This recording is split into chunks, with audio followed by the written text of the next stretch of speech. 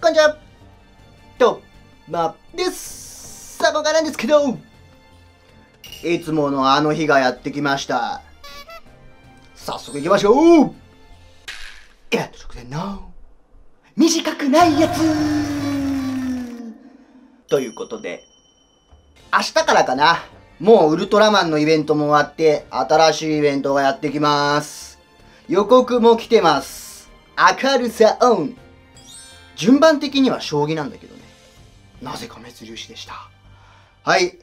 えー、まあ、パッと見てわかんのが、また竜太が真ん中にいて、まあ、上にいつもの竜がいて、珍しいので行くと、左下かな左下に、こまみさんだね。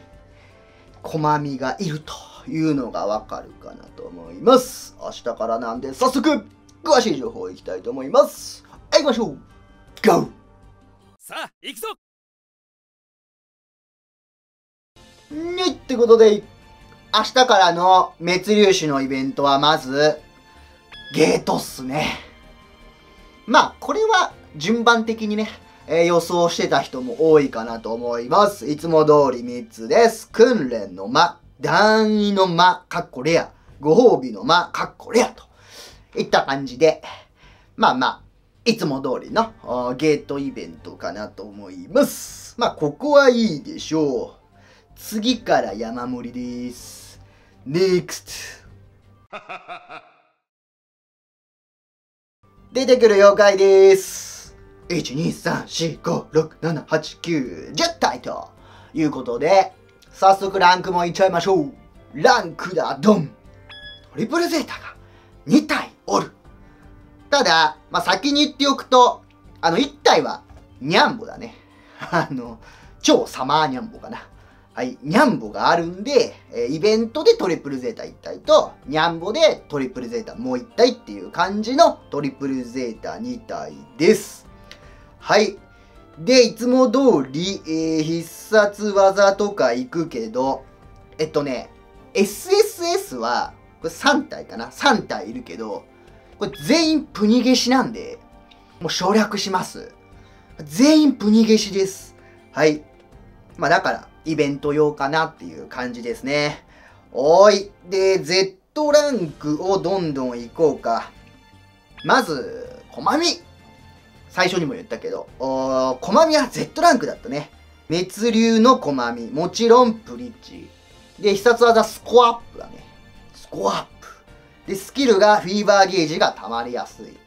まあ、Z ランク、スコアアップだから、G 技あるからね。えー、段取りか。スコアアップダンドリーと同じぐらい強いかなっていう気はするけども、まあでもダブルコマミは無理だろうからね、見づらくて。まあ、めちゃめちゃ使うってことはないと思うけどね。まあただ Z ランクスコアアップは普通に強いからね。まあまあ強いかなといった感じです。で、次、NEXT。エンラエンラかな滅流のエンラエンラ。これも Z ランク。で、不思議。あ、これは強くないね。プニ消しサボりだね。で、スキルも自分のプニ消して回復だから、まあ、これはイベント用だね。わかりやすい。Z ランク、エンラエンラはイベント用という感じかな。まあ、コマミはイベント終わっても使うかもしれないけどね。はい、ラストです。Z ランク。パンドラかな？パンドラ。これが追加ガチャっぽいね。途中から来るやつね。追加ガチャ。プリチー。強くね？攻撃力アッププラスデカプに Z ランクで超攻撃力アッププラスデカプにしかもスキルがプリチューの種族効果アップなんで。強えな。これ。えこれ強くない？あでも追加ガチャだもんね。あこれあれかもね。今まで追加ガチャ結構もういや引きませんとかっていう人多かったかもしんないけど今回の追加ガチャは引いてもいいかもね。ワイポ追加ガチャまでちょっと残しとくっていうのもありかな。はい、これはいい情報だね。えー、追加ガチャのためにワイプを残しておくのもワンチャンありかなと思います。パンドラ強し。はい。で、えー、ダブルゼータ行こうかな。ダブルゼータ、リュータ？ついに、リュータがダブルゼータになった。はい。不思議で、タップでデカプに。強くね、リュータ。タップでデカプに。で、スキルが自分のプニを消したら技が溜まる。不思議でタップでデカプニだからね。今まで不思議はワイルドボーイだもんね。初だよね。初ダブルゼータタップでデカプに、竜太強しといった感じでしょう。はい、竜太強くて、次、竜。竜行きましょう。幻だね。幻。源流は、えー、不思議で、全部消して回復。で、スキル復活。あ、いつも通りかな。はい。いつも通りだね。竜結構復活多いからね。